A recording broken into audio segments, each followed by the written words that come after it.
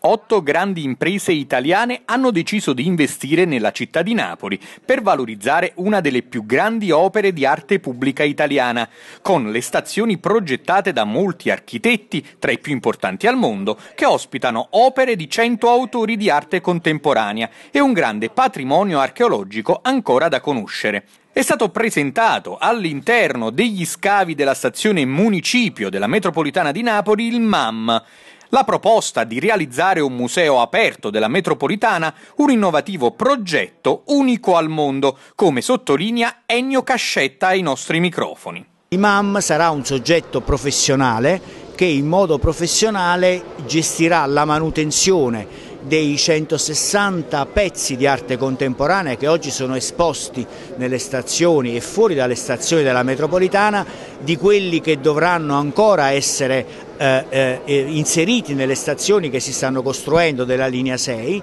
e che valorizzerà questo museo appunto come un museo. La missione della futura Fondazione MAM, museo aperto della metropolitana, sarà quella di garantire un servizio di fruizione culturale gratuito, continuativo e innovativo. Il biglietto sarà quello per utilizzare la metropolitana, non ci saranno costi aggiuntivi. Tante stazioni dell'arte che renderanno la metropolitana di Napoli la più bella del mondo. Armando Brunini di GESAC, partner dell'iniziativa, sottolinea. Noi faremo parte della squadra come gli altri, siamo ben accompagnati, tante belle aziende che fanno parte di questa iniziativa credo che per noi sia un'iniziativa assolutamente coerente, stiamo investendo in cultura,